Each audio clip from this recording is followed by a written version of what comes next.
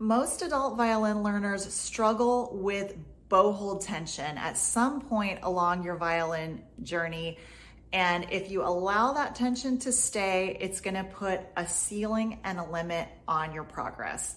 I know because I learned violin as an adult and I struggled with this a bunch myself. My name is Jenny, by the way.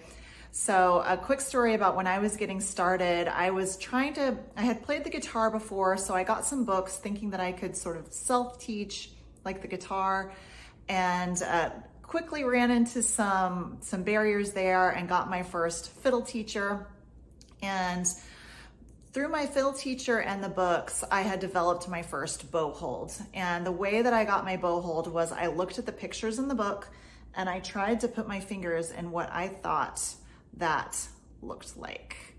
And um, what I'm doing right now is pretty, pretty similar. Let me see if I can get it, my old bow hold.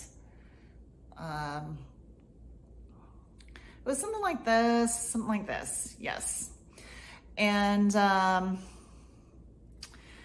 I was a little grabby with my index finger. Uh, these fingers were squeezing uh, with the thumb this way and the pinky tended to be a little bit too straight. And I uh, started at the end of high school. Um, going into college, I was not nearly good enough on the violin to audition and get into the music program yet. So I was I was an art major, but I had already decided that I wanted to play violin professionally. So I was trying to practice like crazy in my free time on the side.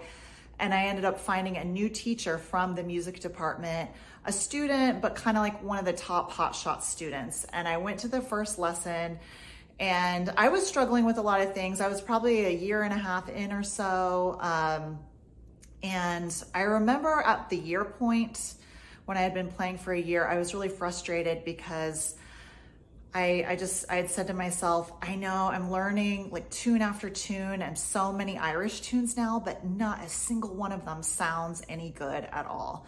So I sat down with this teacher. I told him my frustration, played him a little bit, played for him a little bit.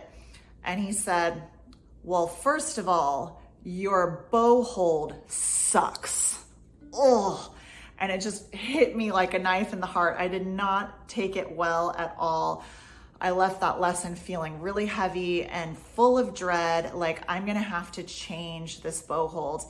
And he showed me a way to hold the bow a little bit more relaxed. But I tell you what, it was so difficult to change that habit. And if I went to play any of my old tunes or just pick up the bow, it would always go back into that tense bow hold.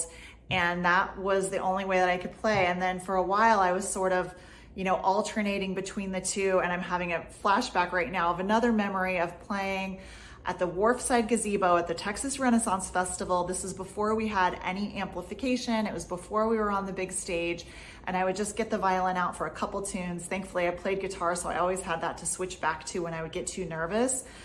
But I was playing a tune for people and the bow was just slipping. I could feel it just slipping out of my fingers and I felt like I wasn't gonna make it to the end of the tune without the bow just falling out of my hand. Other times it did fall out of my hand.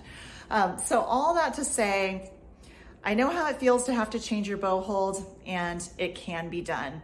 So here are my main bits of advice for developing a good bow hold in the first place and then what to do when it inevitably gets a little bit of tension and you have to do a bit of a reset.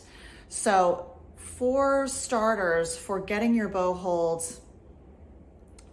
um, I'll just start by saying it's better not to think about it in right or wrong. You don't want to think about it like there's a correct spot for each finger, but instead you want the fingers as close to a relaxed position as possible and you want to be able to hold the bow with the minimal amount of tension and squeeze possible.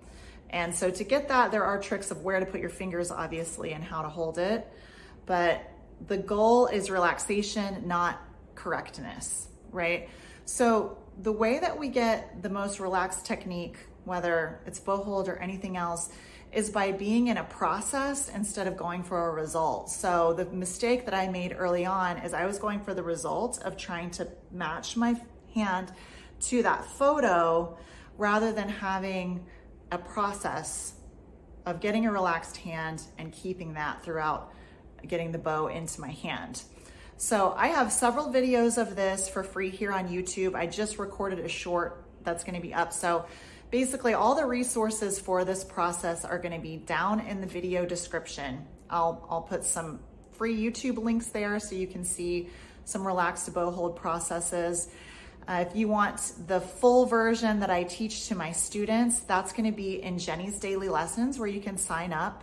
Um, also, in the description and that just unlocks everything that I teach and all my resources. So that's if you if you already know you want to work with me and dive in, you can sign up for that. And then there's also a free week that shows a bow hold process that's a bit more extensive than what's here on YouTube.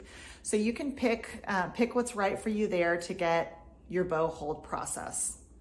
And okay, I'm sorry, I'm looking at my notes. So now that gives you your process. Now, what do you do when you find that you're going down the road? Because inevitably what happens is you get your perfect relaxed bow hold and then time goes on and you're learning more and more songs and you forget to do the process every day and we're focused on learning the songs, which gets us back in that results oriented thinking again. And then the tense bow hold comes back in. It's very easy for that to happen. So I recommend at least every three months during your first many years, for, for, for your first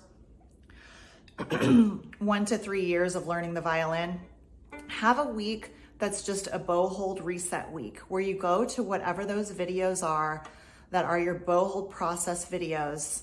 And my students tend, they tend to make their own process based on these options that I give to you, right? So you revisit what your bow hold process is and then during that week, you'll just spend five minutes at the beginning of every practice where you set a timer and you do your bow hold process. And then take that bow hold and just play on open strings in the mirror. And that's a great exercise just for anybody in the first several years of violin. Most people need to practice more just bowing on open strings than we tend to, uh, which is it gets boring, right? So that's what the five minutes is for. You set that timer and you know that if you can just dedicate that to dedicate that time at the beginning to just making sound and noticing if any tension is creeping into your bow hold and releasing it. And then once that's done, just go back into the body of your practice as normal and don't worry about it while you're playing your songs and your other things. If you really want to get after it and reinforce it and you're finding this tension is just really sticking around, then set that timer for five minutes again at the end of your practice and just give yourself another little window there to just think about your bow hold as a process and playing on open strings. If you found this helpful, I'd like to invite you to subscribe to my channel. Again, highly recommend if you haven't yet, sign up for at least my free mini course in the description where you'll find some other resources as well. And happy fiddling.